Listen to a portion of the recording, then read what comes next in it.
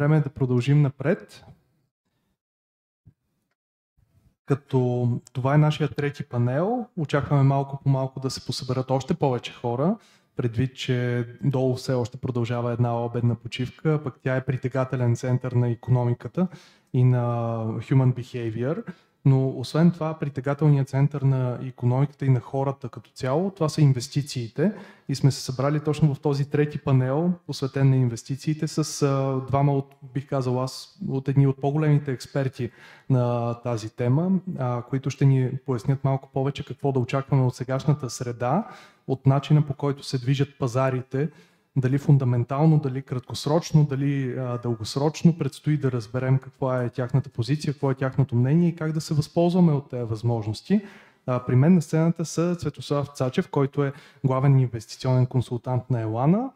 А, благодаря много, че се съгласи да се присъединиш към нашия екип и към това събитие Finex Conference 2022 а, вероятно неговия инвестиционен опит е по-дълъг, отколкото моят житейски път, което вярвам, че е абсолютно доказателство за успех. И също така и Йордан Генов, който пък е изпълнителен директор на Моите пари консулт. Йордан а, има повече фокус върху дългосрочното инвестиране. Той е човек, който а, вече е така лицензиран инвестиционен а, консултант при КФН, доколкото се сещам. Заедно отпразнувахме така преди няколко месеца тази новина. Да, Данчо също е един човек с страхотна визия, с поглед в бъдещето и с опит, с много-много хора, с които е работил и им е давал съвети как да продължат напред и как да си изградят едно успешно инвестиционно портфолио, което работи дългосрочно. Нали, когато си говорим за инвеститори, доста често става въпрос за някаква форма на дългосрочна инвестиция. Затова много ви благодаря, че в момента сте част от този панел. Ако искате, да. Супер. Ще ви помоля и вие да се представите с по едно изречение, защото вярвам, че всеки един от вас може да каже по нещо. Благодаря. Аз също благодаря за поканата за, за това събитие и благодаря на всички, които присъствате тук. А, а, освен това, което вече беше споменато за мен, мога да кажа, че а, опита ми в а, финансовата сфера вече е над 12 години, като а, преди да се занимавам така работейки индивидуално с клиенти, консултирайки ги за управлението на личните финанси, съм консултирал и в областта на корпоративните финанси за една голяма международна корпорация, където работих 9 години от 2010 до 2019 година. След това започнах, присъединих се към екипа на моите пари. От тогава в вече 3 години и половина съм работил, може би, с над 50 човека и, семейства индивидуално смисъл много детайлно да, да изграждаме тяхната а, дългосрочна стратегия за управление на парите. И наистина това е и, и, и моята мисия по някакъв начин да, да помагам на хората да взимат правилните решения в контекста на, на тяхната житейска ситуация, което е изключително важно според мен. Благодаря ти. Аз мога да кажа за себе си, че за повече от 20 години това, което се случва сега, ми е третата голяма криза, която преживявам и освен, че губя коса нали, и нерви, това променя много виждането ми за нещата, за това как а, ще се развият нали, събитията следващите десетилетия. И тук а, бих искал да се присъединя към мисията на а, Данчо с идеята, че трябва а, да помогнем на все повече и повече хора, да разкажем какво се случва, какво ще бъде отражението върху а, всеки един от вас, върху всеки един човек, как ще се развива економиката, как ще се прави бизнес сега, 2022 година и след 10, след 20 години и така нататък. Затова благодаря още веднъж за поканата и за страхотната инициатива да засегнем тези проблеми. Както видях, програмата наистина е толкова добре фокусирана и успява да хване всички аспекти на финансите и на близките неща до тях, така че вярвам, че ще ви бъдем полезни и интересни. Разчитам на това да чуем и много ваши въпроси, защото а, моята кариера започна в един вестник, който го няма, вестник пари. И от това, което ми остана най-много е, че трябва да дадеш информацията лесно и разбираемо на хората. Затова ще, аз ще се постарая и вярвам, ще успеем да направим така, че да ви бъдем полезни и интересни с всичко, което имаме да кажем. Много ти благодаря за представянето. Вярвам, че успя много добре да самаризираш мисията на всички нас, реално. Ние затова го правим. Трябва информацията да е достъпна, трябва да бъде много лесна, много разбираема и вярвам, че част от нещата са сложни, обаче друга част от нещата не са толкова сложни. Да започнем с най-сложния въпрос. Къде се намираме в момента? От гледна точка на финансов свят, от гледна точка на потенциална рецесия, от гледна точка на нашите лични пари. Ще говоря първо за световната економика. Намира се в една много трудна ситуация, чисто политически казано. Иначе, може да си представите, намираме се в наистина много, много калена ситуация. Защото буквално това, което се случва, е сега да идва сметката за десетилетия харчове, които са правени без да се разсъждава. Говоря и визирам основно политиката на всички развити страни. И на много възникващи пазари и така нататък. всеки политик харчи с идеята, че го прави а, до следващите избори и за следващия мандат да спечели изборите и така нататък. Така. Никой не разсъждава за десетилетия напред. Ето това е най-големият проблем в световната економика, че когато политиците оказват своето влияние върху централните банкери, се получава тази ситуация сега. Десетилетия на растеж на кредитите и на задлъжнялостта. А унази визия, че а, могат да се взимат пари ефтино да се харчат, която я виждате и като поведението на Доналд Тръмп, пък и не само като президент, а, той успя дори да убеди най-консервативните си съпартийци, че е страхотно нещо да харчеш парите на внуците си.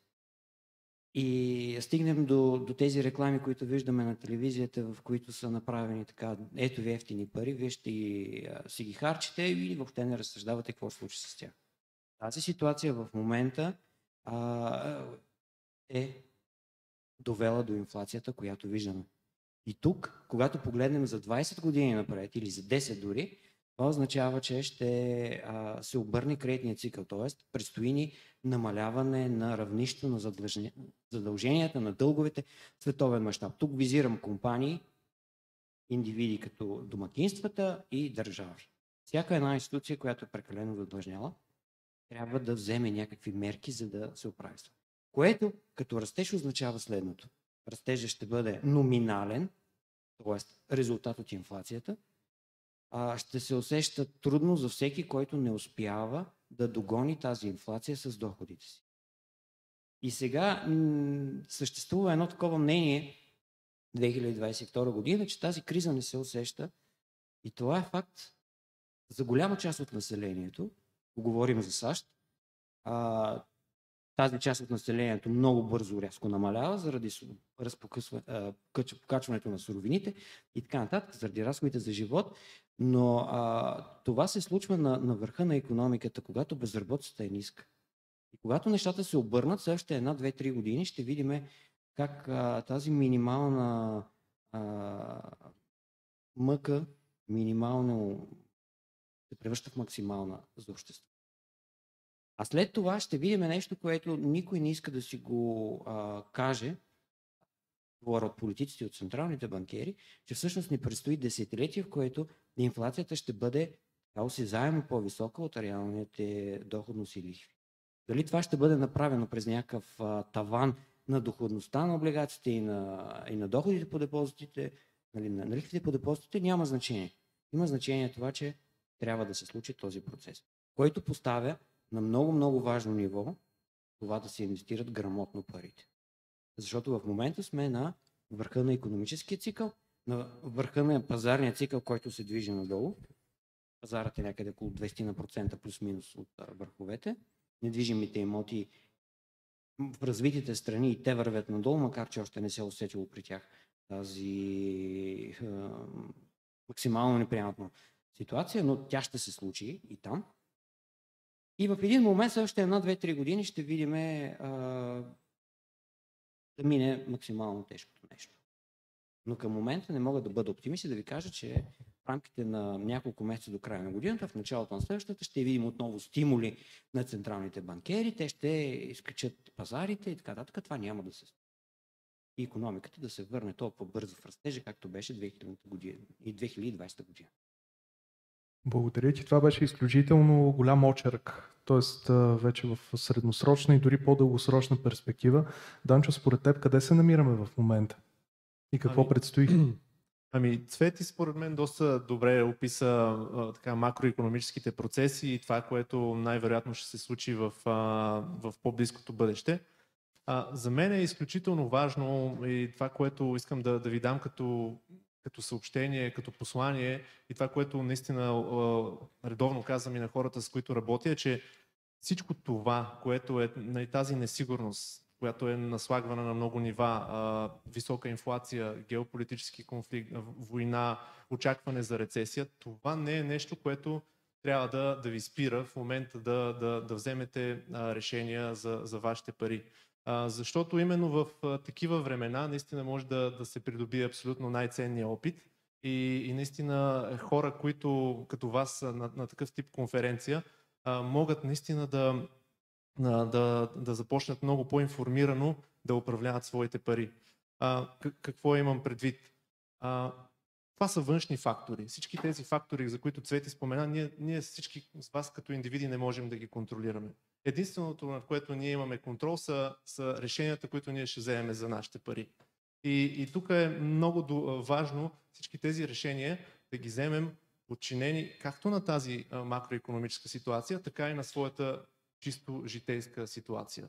За да сме наясно какъв риск наистина ние поемаме с а, своите спестявания, дали това е адекватен риск Хем от гледна точка на нашата на лична житейска ситуация, дали има вероятност да загубим а, работата си, дали сме в такъв сектор, дали сме а, нивото ни на задлъжнялост е прекалено високо, а, какъв риск да поемем с инвестициите си. Не, ние сега може би в следващите въпроси ще почнем да говорим повече за това, кои, кои ще са по-печелившите практики и приеми, които може да възприемете, но а, това, което забелязвам, когато говоря с много хора, е, че нали, има съвсем нормално, има едно притеснение, че в такава среда аз по-добре да седя и да чакам. Аз не мисля, че това е точно така. Мисля, че понеже вие всички тук сте много млади хора, това е всъщност една перфектна възможност вие да започнете а, да изграждате своя дългосрочно инвестиционно портфолио и, и то да го започнете да го изграждате в такива години, където може да научите много и всъщност което в дългосрочен план пък ще ви да, даде много добри резултати. Ами ти така малко ми отне възможността да задам въпроса, сега ли е правилният момент човек да, да започне? защото може би в такива мътни времена, ако мога така характеризирам времето, в което се намираме, мътните времена създават и възможности, но и това, което си говорихме преди нашия разговор официално в момента с микрофона, а, имаме един гост, който всъщност подели, че според него вече това не е напълно валидната теза. Понякога мътните времена всъщност водят и до провал. Така че, какво е вашето мнение? Сега правилен момент ли е човек да се научи и да влезе в пазарите? А, гледайки аудиторията, нали, понеже аз винаги моя свет е насочен към конкретния човек, абсолютно според мен сега е едно добър момент. Защо? Ами, нали, имахме последните няколко години, нали, Цвети спомена, използване на стимули, стимулиране на, а, на, на пазарите, много висока доходност. 2019-2020, въпреки че имаше спад по време на COVID, от 30% на американските пазари, накрая годината свършва с 14% доходност. 2021 28%. Нали, не е нормално ние да имаме поредица от години с средна доходност 20% годишно. Нали, това ако някой си мисли, че е нормално, за мен това, това не е нормално. А, и, и аз като инвеститор, който също считам, че все още съм сравнително млад, не толкова колкото вас тук, но все още имам доста дълъг хоризонт пред себе си, аз бях силно притеснен от това, че могат да продължат тези прекалено а, силни години, които е нереалистично рано или късно а, ще трябва да, да, да, да преживеем някаква корекция. Това е неизбежно. Мисля, ние започвайки да инвестираме, трябва да сме много наясно, че ще има и трудни моменти, ще има и години, в които нашите инвестиции ще, ще търпят а, отрицателна доходност. И всъщност изключително важно е, за, за, да, за, да, за да сме успешни в дългосрочен план, това да се случи в първите ни години на инвеститори. А, има различни проучвания, които са правени за хора с абсолютно еднаква инвестиционна стратегия, инвестират абсолютно еднакви суми и накрая едните събират два пъти повече пари от другите какво се е случило? Ми просто едните са живели в едни години, другите са живели в други години. Е, това са пак тези външни фактори, които казвам, ние не можем да контролираме. И аз, бях, и аз съм силно притеснен, че тези външни фактори се нареждат в моя ущърп, ако когато сме още млади, имаме толкова а, а, години с висока доходност. Рано или късно трябва, трябва да, да преживеем някаква корекция, а, сериозна. И това най-доброто нещо е да се случи, когато ние започваме. А, това много повече увеличава шансовете в дългосрочен план ние да а, инвестиционната ни стратегия да ни донесе по-висок резултат като натрупан капитал. Та, поглед аудиторията, моят а, отговор е да, със сигурност в момента е, по, е по-добър, отколкото примерно началото на годината, когато нивата на пазарите бяха по-високи. Имайки предвид, че и вече тук има един колега, който а, управлява фонд в България, наскоро си говорихме, беше казал, пазара като се е сипал вече 20%, нали, колко още повече? може много повече, но, но рядко се случва. Нали? Така че може би сега е по-добър момент, със сигурност, отколкото в началото на годината. Моето послание е абсолютно да. Добре, благодаря ти.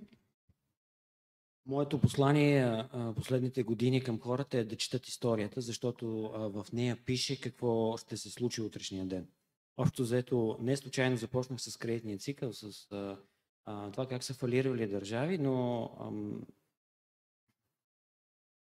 да се инвестира в момента, когато човек има наистина само някакви малки спестявания, има а, смисъл дори пазарът утре да, да отвори на нула.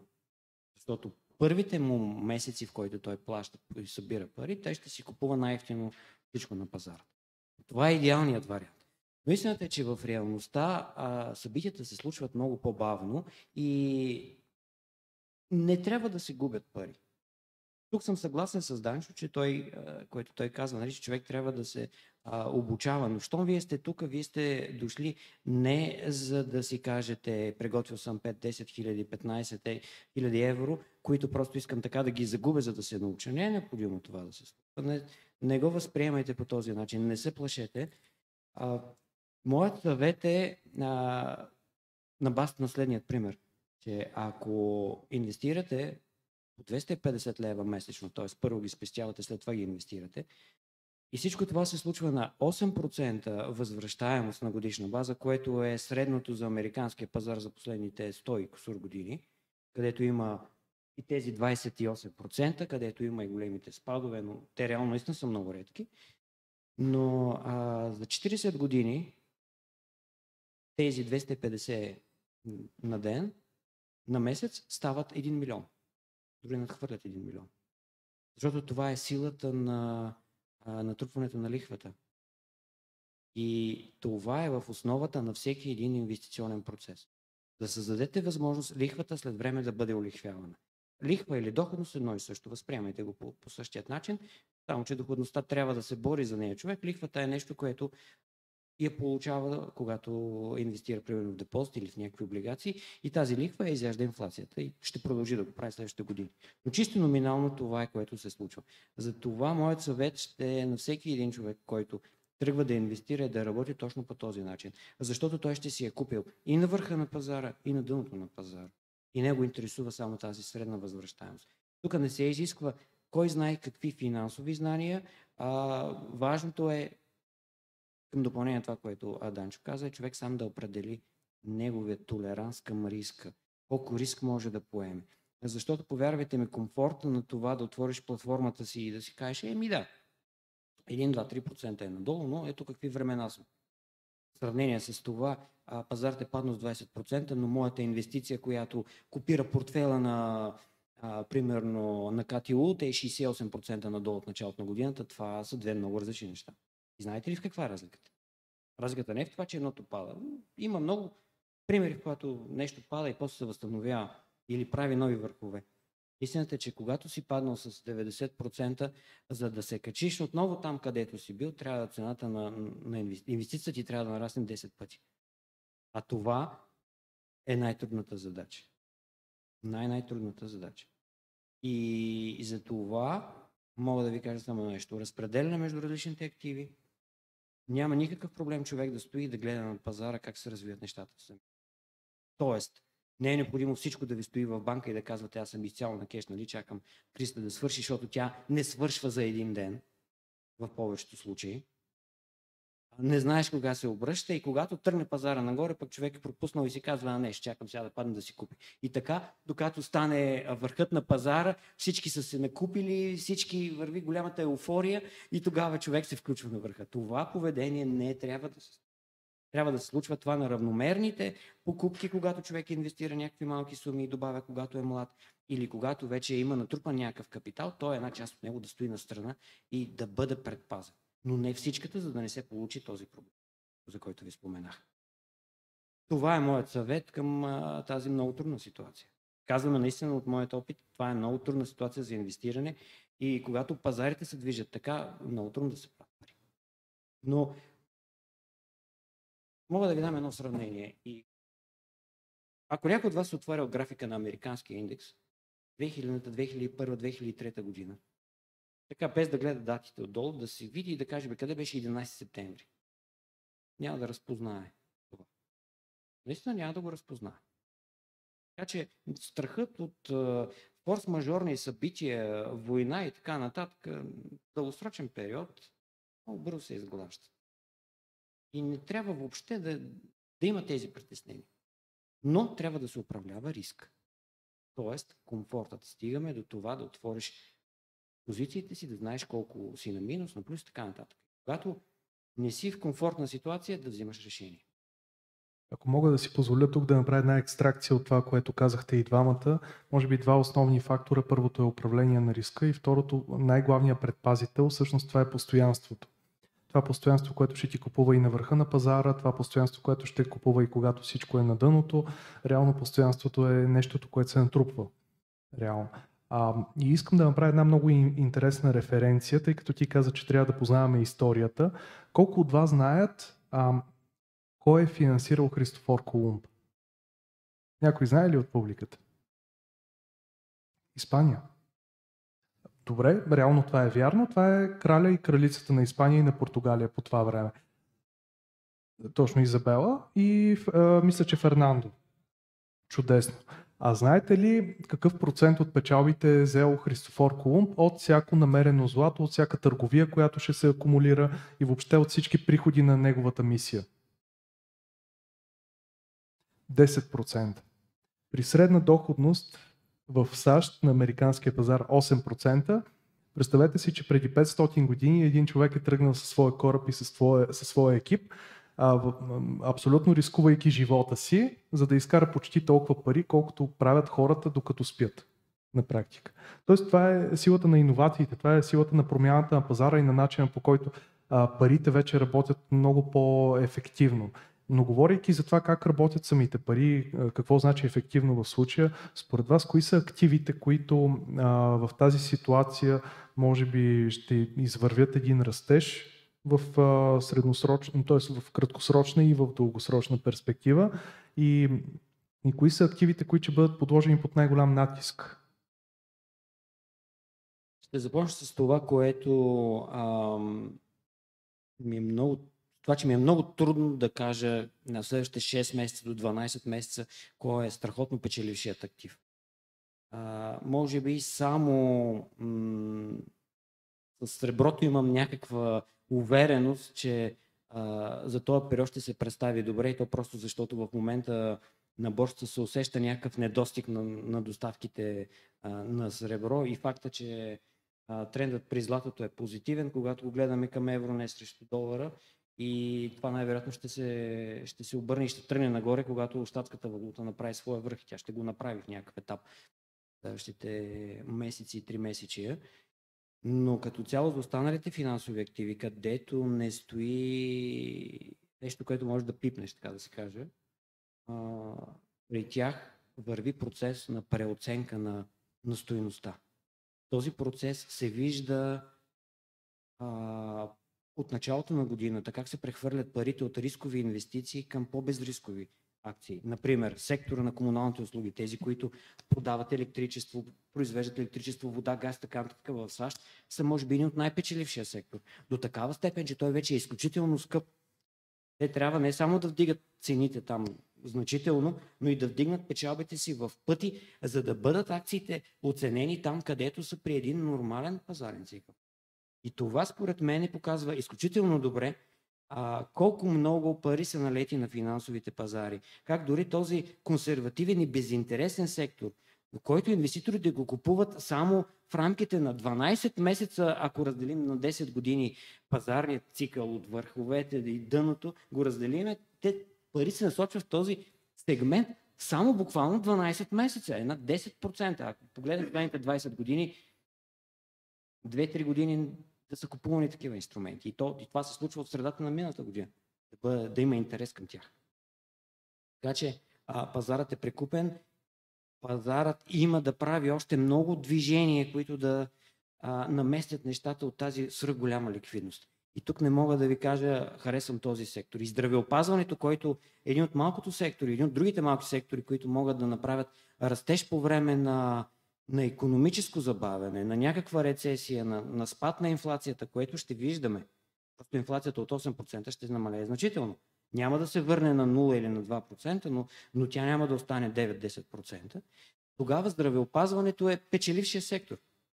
И има компании, които вече струват 25-30 пъти над печалбите си. По подобие на това, което бяха технологичните компании 2007 година, и не точно 2000-та година, но близо. И това е един сектор, който не расте по, такива, по такъв начин. А, това в краткосрочен период а, смятам, че кешът и еквивалентите на кеш, т.е. парите, които можеш да си позволиш да инвестираш във всеки един момент следващите 12 месеца, са много по-ценни, отколкото да държиш някакви активи, дори то и правителствени облигации. Но портфела според мен към днешна дата, в хоризонт 12 месеца, с договорката, че във всеки един момент той може да бъде преструктуриран, са нещо от този род. 20-30% някакви правителствени облигации и то американски, за който а, е търсач на силни усещане. Въпреки, че ако питате 100 човека а, професионални инвеститори а, в САЩ какво да държат париците, 99 сигурно ще кажат не там. Нали? Но това, което се вижда е как парите се отиват към, та, към този тип инструменти. Те разбират къде са рисковете и страховете от повишаването на лихвата, но въпреки това инвестират в тях, защото няма къде да се държат парите.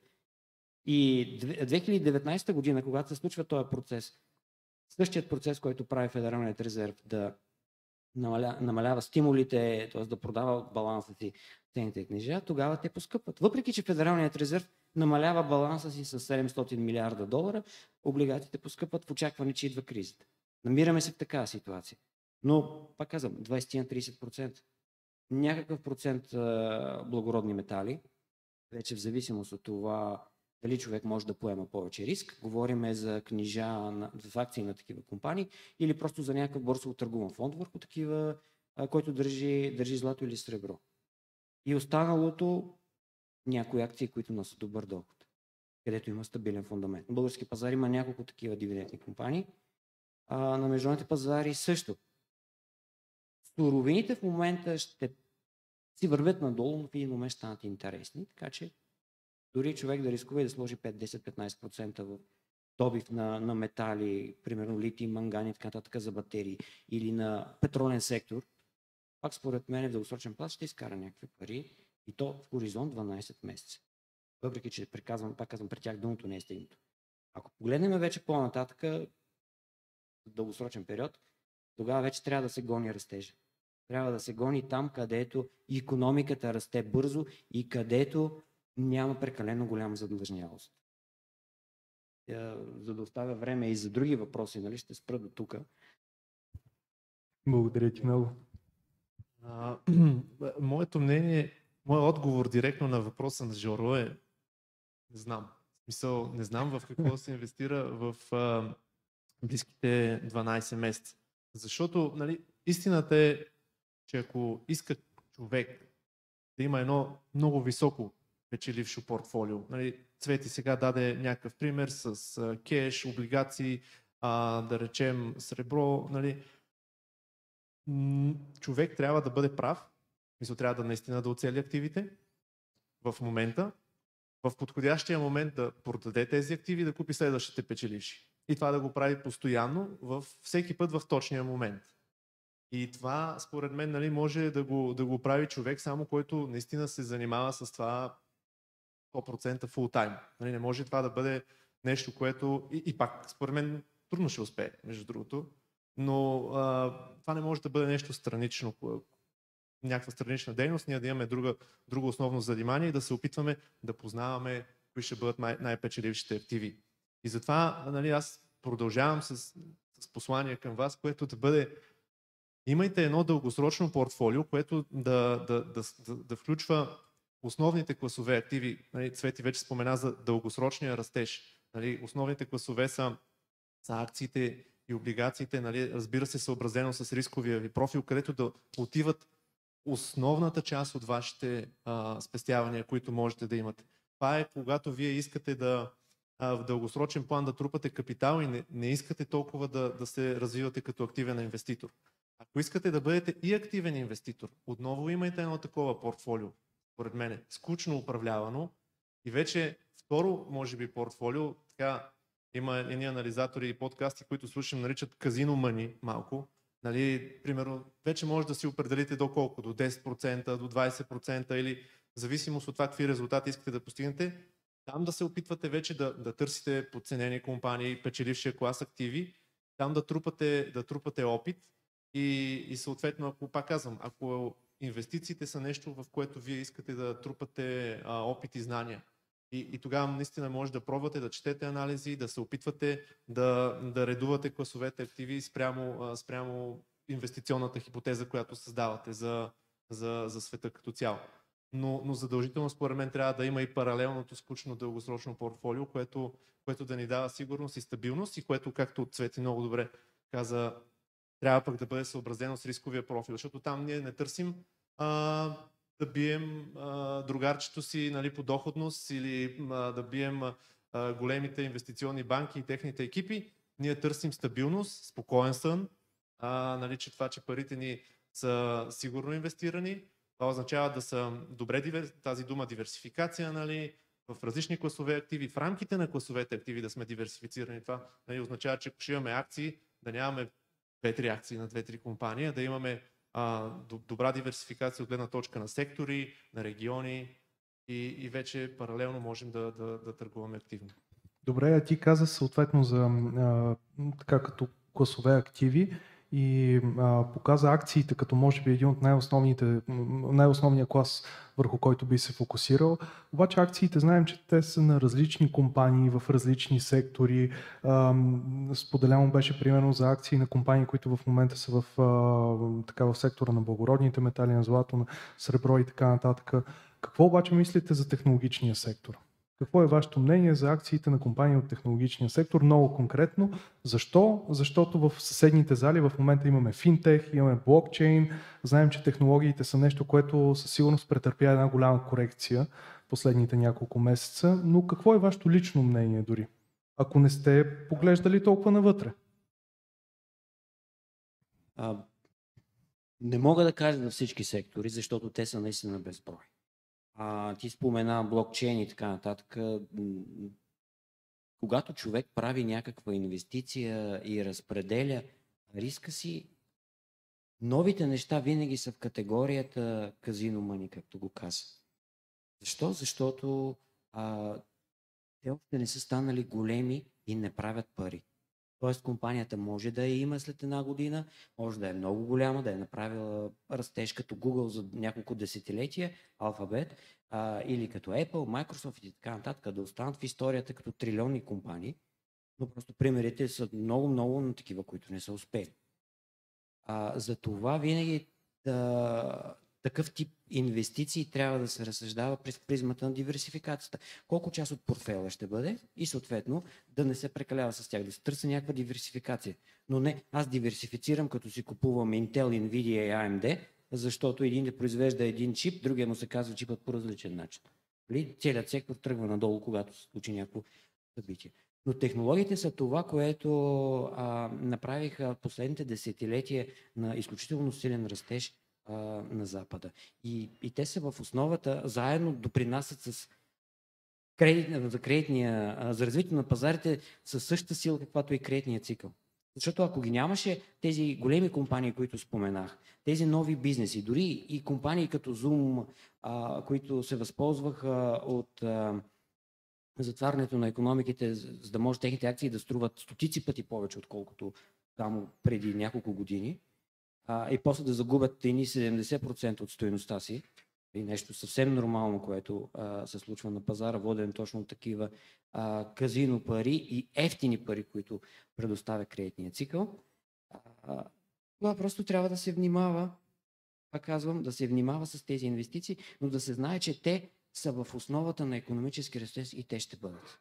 Тоест, въобще не трябва да се казва, аз съм консервативен инвеститор и не искам да инвестирам в технологии.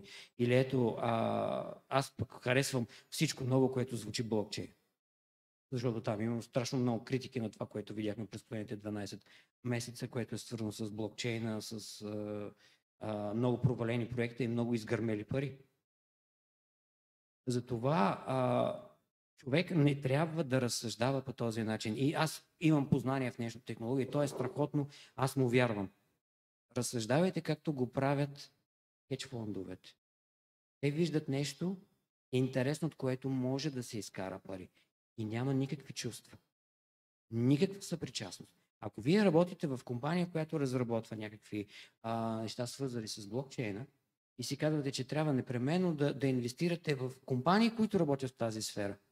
Защо? Защото сте запалени ентусиасти. Това няма нищо лошо, но тук губите първо диверсификацията и втори губите онази трезвост, която трябва да има. Трезво решение на нещата. Това е интересно ли? Това ми е интересно, значи то трябва да върви нагоре. Винаги го имайте предвид това.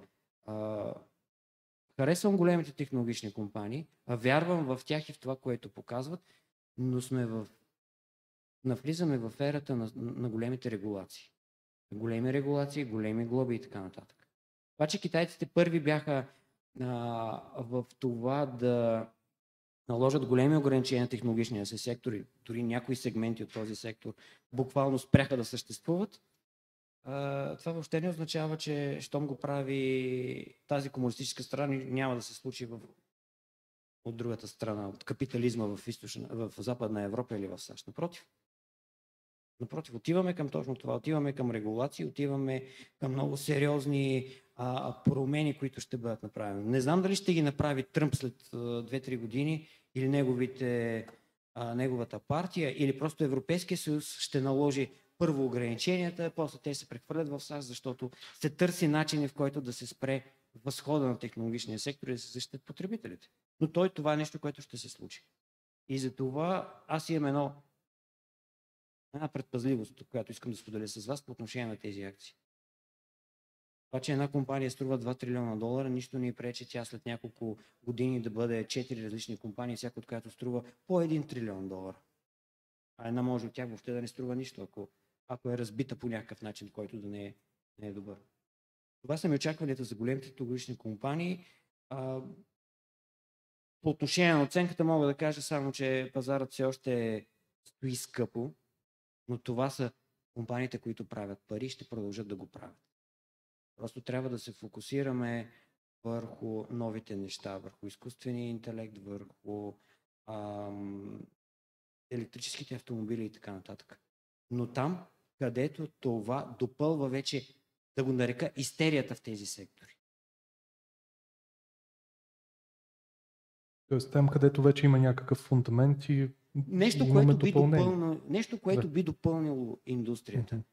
А, например, ако трябва да избирам между а, производители на електрически автомобили и добива на литий, добивът на литий е, е място, което ми се струва по-подходящо. Защо? Защото а, това е тясното място в веригата от доставки. И то е много тясно място. Всички, всеки производител на автомобили може да стане производител и ще стане производител на електрически автомобили. Рано или късно. Но няма да има лети и за всички.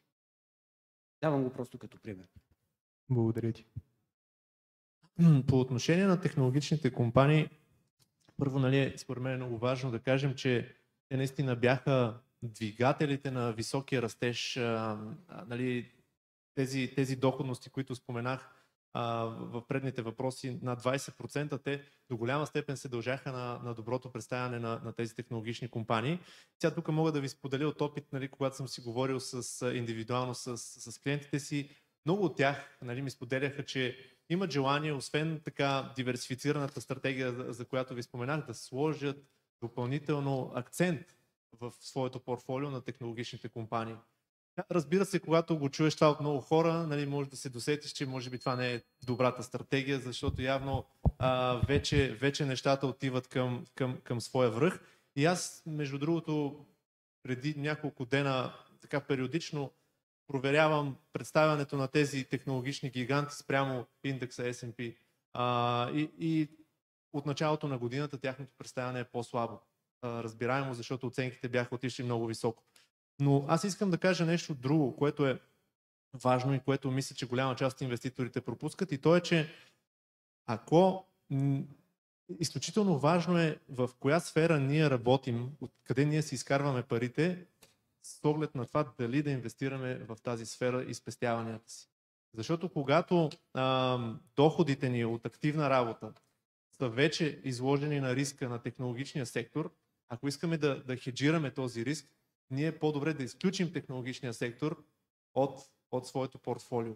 Това е, защото ако, ако се случи така, че ние а, целият технологичен сектор бъде по някаква, по, по някаква причина сериозно ударен, нали, с висока безработица, липса на проекти, а, това ще ни удари активните доходи, ще ни удари и спестяванията, инвестиционното портфолио, ако сме сложили акцента на там. Така че отговорното дългосрочно инвестиране по-скоро и правилното според мен е да, раз, да разпределим риска, така че така или иначе вече риска ни като ам, заед човек в, в, в този сектор е там, по-скоро нека спестяванията ни да не бъдат там.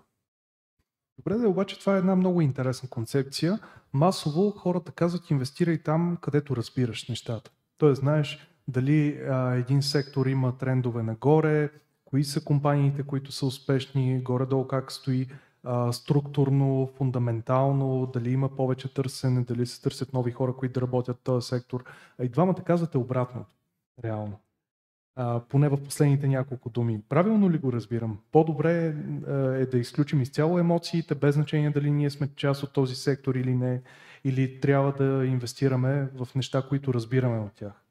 Да, в инвестирането не трябва да има никакви емоции. Това не го казвам аз. Това е правило, неписано правило. Тоест човек, когато е натоварен с някакви емоции, трябва веднага да намали а, инвестирания капитал, защото му пречи да взима правилни решения не искам да влизам в подробности, няма някакъв смисъл, но а, да, ако познаваш нещо, което работи в бизнеса ти добре, ам, без емоцията, че работиш в да, него. Без емоцията, Ако че познаваш, че бизнеса работи. Трябва да го има, но това не означава, че mm. трябва да имаш 100% инвестирано в сектора, в който работиш и го познаваш. Защо? Защото а, има разлика между това как се представя сектора като бизнес и как се представя акциите. При акциите имаме други играчи големите фондове, големите пари, големите спекуланти, те са тези, които движат нещата. Те дават различни нюанси. И тук човек може да се обърка от, от това как се представя бизнес и как се представят акциите. Бизнесът може да се представя слабо, пък акциите да вървят нагоре, значи ще има някаква промяна, която очаква пазар. И така нататък.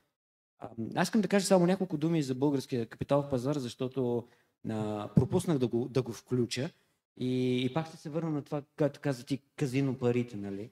Не за друга, защото на българския пазар си имаме вече и казино компания. А, и, и тя се представя много добре. Но а, българския пазар, е, и това е моят съвет, не бива да го изключвате, защото той има едно голямо предимство. Предимство на това да сме българи. Много малко хора по света от тези 7-8 милиарда души говорят български язик и това сме едни, една част от тях сме ние което означава, че може да имаш повече информация, повече информираност, работиш. Освен това на българския пазар, комисионите са толкова малки в сравнение с западните, че в някакви случаи успяваш, нали, да, дори да кажем, че са много конкурентни. Но това предимство на информацията на, на малкото село, в което се намираме, да сме а, първи, е голямото а, предимство. Но, но другото, което е интересно на нашия пазар е, че той се разви в две посоки. А, тази традиционна, традиционни акции, 10, 20, 30 бройки, които, които бяха от, от 10-15 години на пазара и които са по-скоро вече безинтересни за, за младият инвеститор. И втория сегмент, който от началото на миналата година привлече 6-7 компании, ще привлича още много малки компании, където бизнесът ще им се развива в бъдеще. Примерно имаме една компания, за, която разработва система за управление на транспортни дронове. която а, въпреки че аз имам много забележки по това как се развива техният бизнес, нали, с изоставането, с сроковете и това колко пари трябва да са необходими да се инвестира, но въпреки това, ето ви един технологичен сектор, който, който е част от бъдещето. И всеки един от вас, който работи и ще работи в някаква такава компания, ще е страхотно, когато тя е и публично дружество. Защото тогава, казвам го като а, човек, който гледа пазарите вече 20 години, когато една компания е на пазара, дори като малък пазар, тя струва много повече, отколкото ако дойде някой и ви каже, искам да я купя на тази цена. И разликата е поне 30-50%.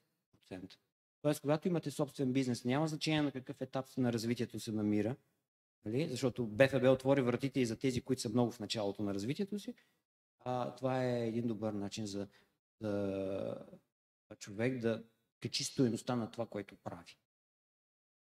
Благодаря ти. Данчо, ти ако искаш, сподели няколко думи за твоята гледна точка за българския пазар а, и ами... след това да преминем към въпроси. Да, добре. Аз само искам също и на предният ти въпрос да отговоря за това дали трябва да инвестираш там, където си познанията. Ам, и пак ще се върна на това, което казах. Трябва да изолираме емоцията в, в своето дългосрочно портфолио и това, което ще търсим дългосрочния капитал, но в другото си портфолио, собствените ни казино пари, където вече търсим възвръщаемост, която е много над пазарната, 10x, нали, в смисъл търсим наистина подценени компании. Разбира се, там, според мен, ние трябва да ползваме тези наши познания, защото така увеличаваме шансовете да намерим наистина добри инвестиционни възможности. Били, били, били те, както Цвети каза, на българския пазар, защото ние говорим български, познаваме компаниите и така нататък. А, абсолютно съм за тогава дори това да бъде и в сектора, в който ние работим. А, ако, пак казвам, ако искаме да сме дългосрочен инвеститор. Иначе по отношение на българския пазар, а, това е и моята визия. Аз а, с, с клиентите си, които работя, а, предпочитам да, да не го слагаме толкова в дългосрочното портфолио, а, защото нали, да, да изключим тук толкова регионалния риск, но ако те преценят, че искат да следят някоя своя компания, компания, която да добавят в активното си портфолио, разбира се, че би ги подкрепил. Окей, okay, благодаря ти много. И сега е време за въпроси, ако имате такива, разбира се. Защото ако нямате, ние ще си задаваме един. Добре, имаме. Заповядай. Ако искаш, направо го сподели, аз ще го кажа след това на микрофона, така че хората, които гледат онлайн и те да чуят.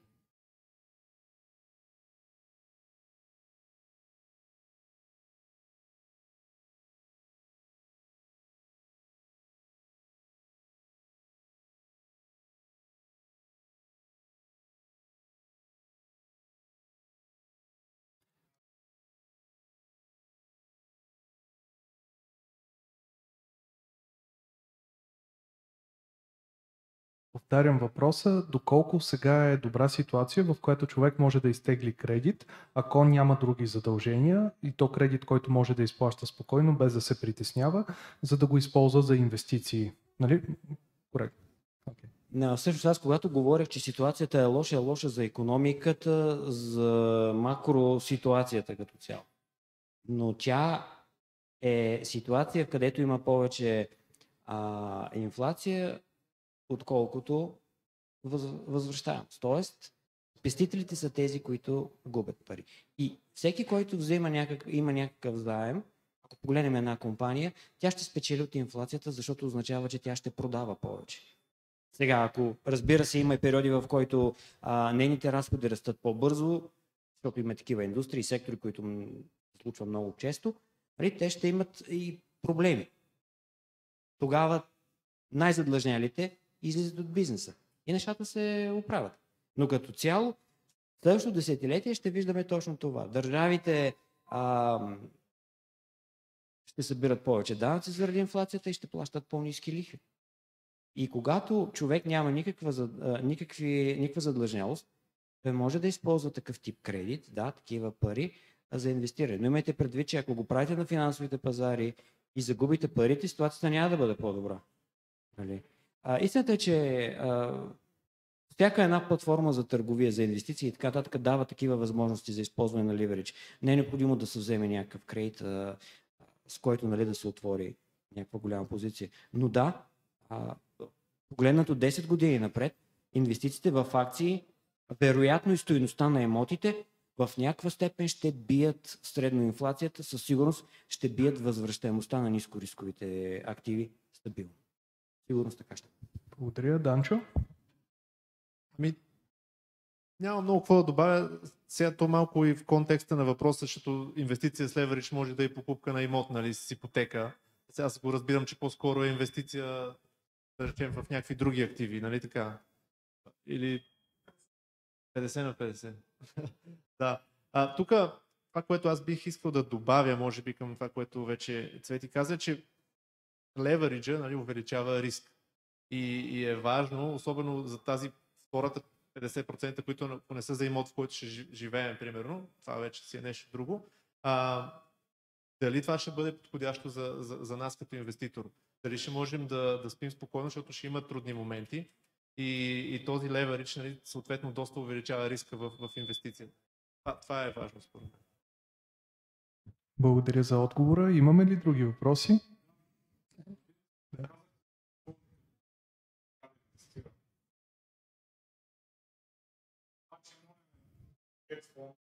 Няма достатъчно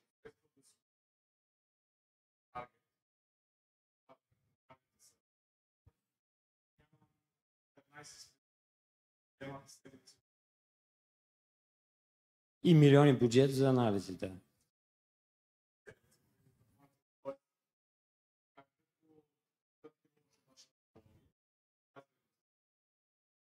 Повтарям въпроса за хората, които са онлайн. Как реално ние може да инвестираме като хедж фонд? Това, което беше аналог малко по-рано в разговора.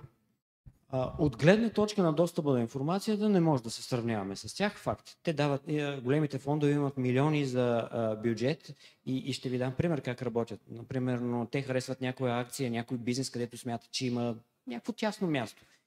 Те наемат някаква организация, която да прозвани на 10, 20, 30 или 1000 компании, които дистрибутират, да кажем, някакъв продукт и да питат къде е проблема.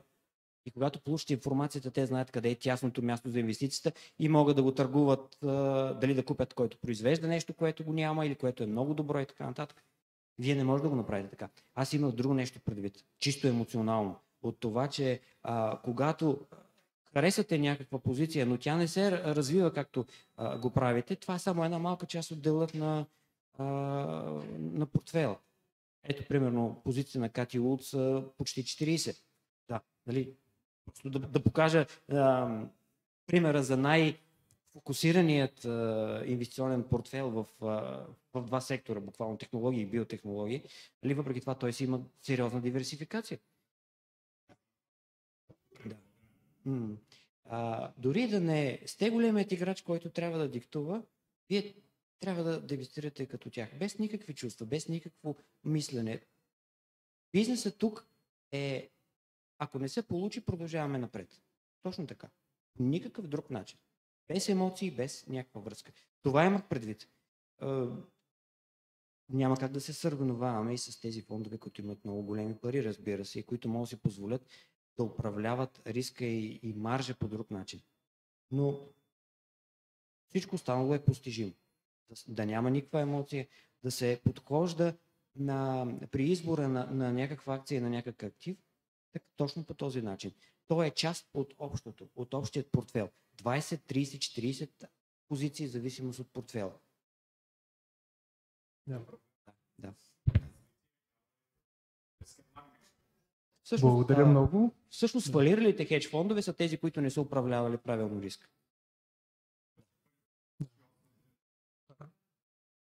Много благодаря. Аплодисменти за нашите гости за този панел. Вярвам, че се получи изключително полезно и всеки един от нас получи много-много важна информация за това къде се намираме и какво предстои, като възможности, разбира се.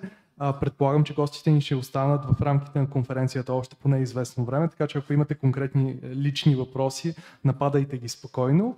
Сега правим 10 минутна пауза и в И45 се връщаме тук за блокчейн панела ни, където ще бъде Веско Георгиев, country manager на Binance. Това е най-голямата криптоборса в цял свят с valuation 4 милиарда и половина и Свет Люнаков, който пък е основател на софтуни и сега се включва малко по малко.